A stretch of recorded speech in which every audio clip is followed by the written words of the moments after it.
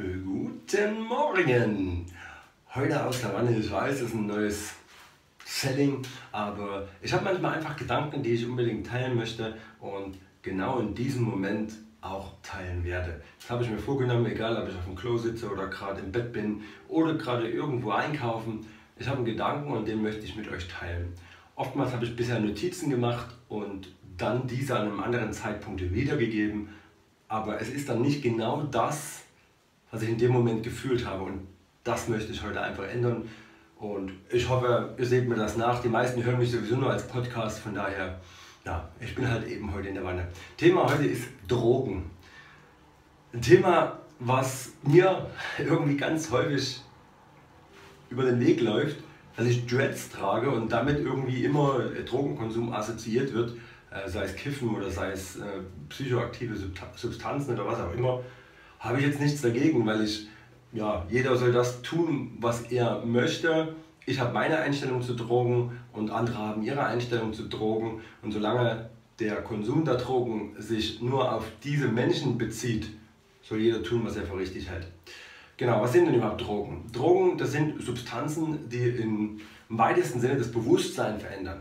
Und da gibt es legale und da gibt es illegale Drogen und ist aber relativ irrelevant für die Betrachtung heute, weil ja, mir geht es generell um Drogen, weil die haben gemeinsame Eigenschaften. Und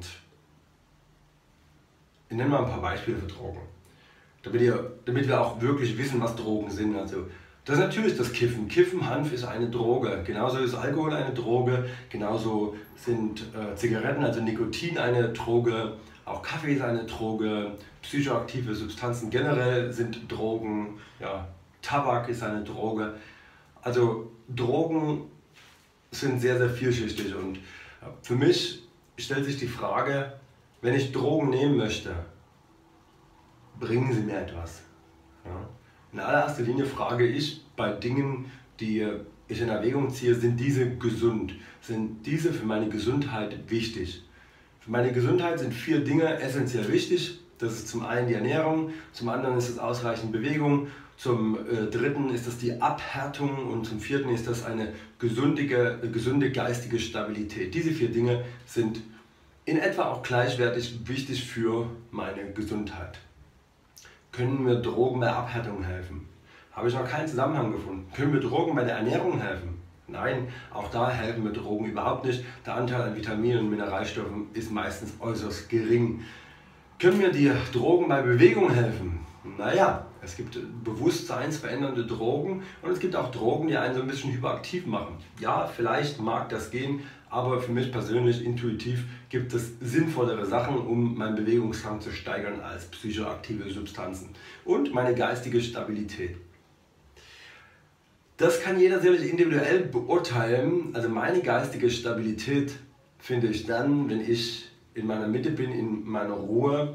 Und Drogen stellen für mich einfach so ein erhebendes Ereignis dann dar, was mich in irgendeine andere, nicht aus meiner Mitte kommenden, kommenden Geisteszustand transferiert und durch den ich eventuell sogar interessante Erfahrungen machen kann. Aber sie führen nicht zu einer geistigen Stabilität.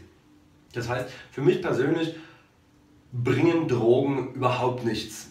Und das hat schon mein ganzes Leben lang, hat das mir meine Intuition gesagt. Ich gehöre zu den Menschen, die noch nie in ihrem Leben einen Tropfen Alkohol getrunken haben, die noch nie an einer Zigarette gezogen haben, die noch nie einen Kaffee getrunken haben. Außer ich habe mal genippt den Kaffee, fällt mir doch ein. Also, ja, also die aber generell, sagen wir, noch nie Kaffee getrunken haben, die ja, noch nie irgendwelche psychoaktiven Substanzen probiert haben oder irgendetwas, was man mit Drogen in Verbindung bringt. Ne? Das Einzige, wenn man von davon Drogen auch sprechen kann, ähm, ist ähm, die, die Cola, das Zucker und das Koffein. Cola habe ich äh, eine, ja, eine lange Zeit in meinem Leben, bestimmt so 10, 15 Jahre lang getrunken und ja, das ist vielleicht so die, die einzige Droge.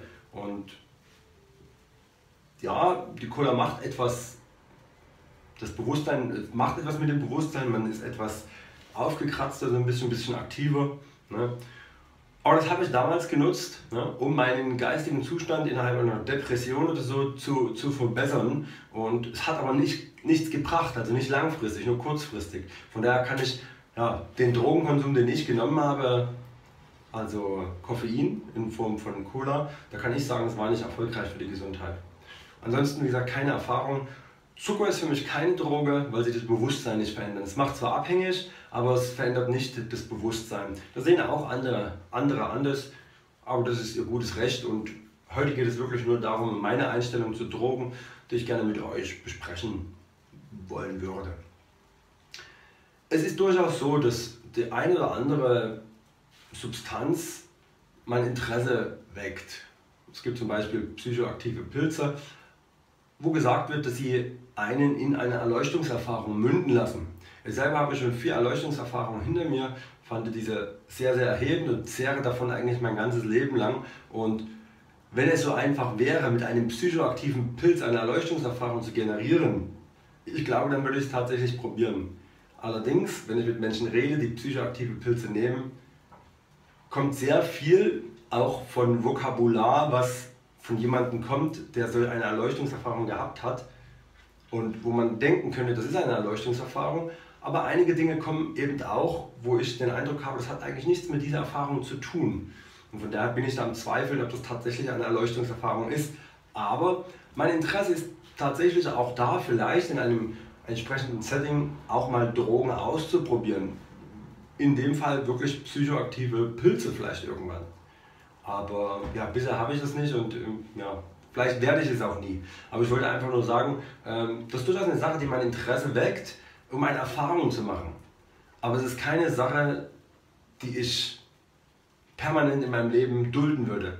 Weil meiner Gesundheit, da sagt mir meine Intuition, sind Drogen definitiv nicht zuträglich. Und daher verzichte ich eben auch auf alle möglichen Sachen, angefangen bei Alkohol, Kiffen, Tabak, alles, was ihr so unter Drogen versteht. Und natürlich jetzt auch Cola, ähm, wobei ja, so einmal aller zwei Monate oder sowas bei einem Potluck, wo ich abends noch tanzen will, was jetzt auch nicht mehr der Fall ist, weil wir meistens dann wahrscheinlich zelten, dann, wenn ich wach bleiben will, irgendwann an meine Cola, das passiert schon nochmal.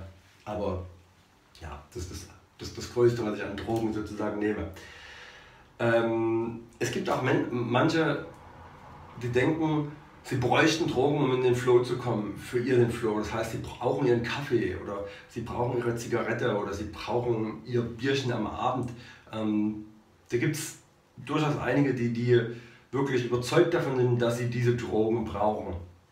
Und da bin ich davon überzeugt und ich bitte darum, dass ihr euch nicht angegriffen fühlt. Ne, das ist jetzt meine Meinung, ausgehend aus meinen Erfahrungen.